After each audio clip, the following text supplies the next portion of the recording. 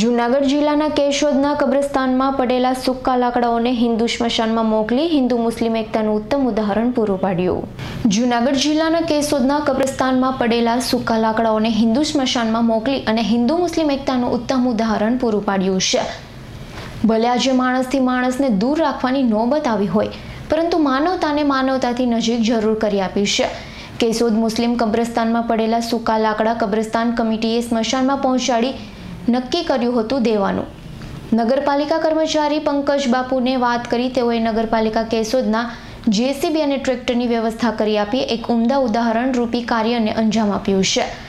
જ્યારે આજે કુદરતના કહેરથી માનવ જાત પાંગડી થઈ છે, ત્યારે માનવતા દ્રઢ સાથે બરકરાર અને તેનું જીવંત ઉદાહરણ કેશોદ મુસ્લિમ કબ્રસ્તાન કમિટીના સભ્યોએ સ્મશાનમાં લાકડા પહોંચાડીને માનવતા એ જ પરમ ધર્મ હોવાનું દ્રષ્ટાંત પૂરું પાડ્યું છે. હા, મારું નામ પાર્થિવ પરમાર, કેશોદ નગરપાલિકા ચીફ ઓફિસર.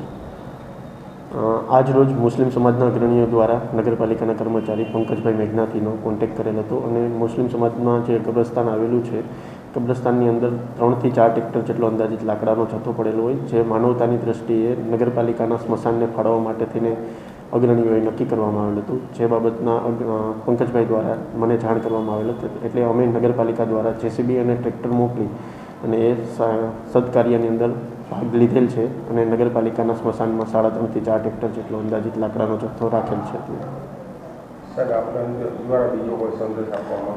કેશોદ શહેર વિસ્તારની અંદર અમે એ સંદેશ આપવા માગીએ છીએ કે નગરપાલિકા વિસ્તારની અંદર માણસો સોશિયલ ડિસ્ટન્સિંગનું પાલન કરે અને બહુ જ આવશ્યક કામ ના હોય તો ઘરની બહાર નીકળવાનું હમણાં થોડા દિવસો ટાળવું જોઈએ જે આ કોરોનાની સેકન્ડ વેવ છે એમાં.